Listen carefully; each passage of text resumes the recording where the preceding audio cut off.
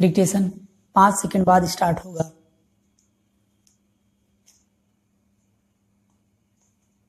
Ready start बहनों, शिक्षा संस्थानों से जब कभी भी मुझे बुलावा आता है तो मैं वहाँ जाने से इनकार नहीं कर पाता, क्योंकि शिक्षा संस्थाओं से मेरा आरंभ से ही कुछ न कुछ संबंध रहा है, और शिक्षा शास्त्र में भी मेरी पहले से काफ़ी रुचि रही है।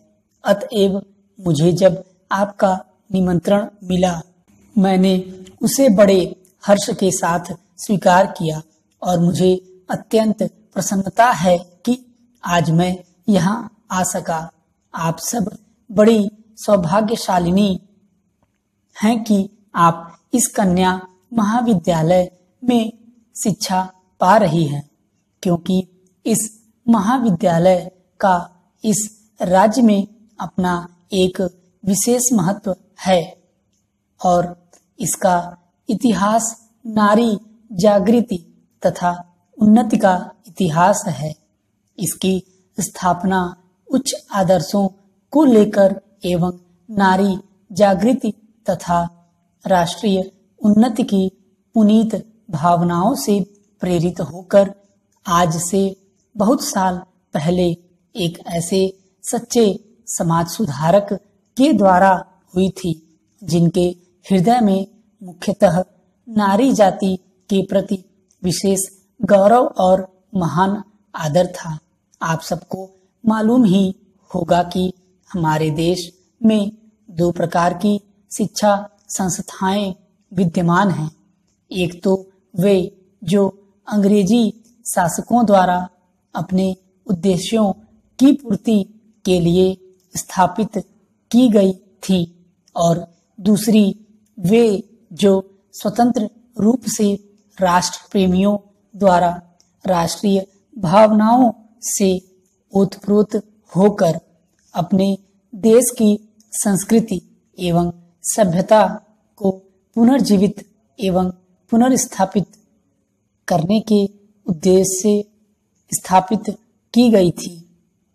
आपका यह कन्या महाविद्यालय भी लगभग इन्हीं पवित्र भावनाओं से प्रेरित होकर बहुत साल पहले स्थापित किया गया था और आपके लिए यह बड़े सौभाग्य की बात है कि आप में से कुछ आज इस विद्यालय में अपनी शिक्षा समाप्त कर जीवन के कार्य क्षेत्र में प्रवेश करने जा रही हैं।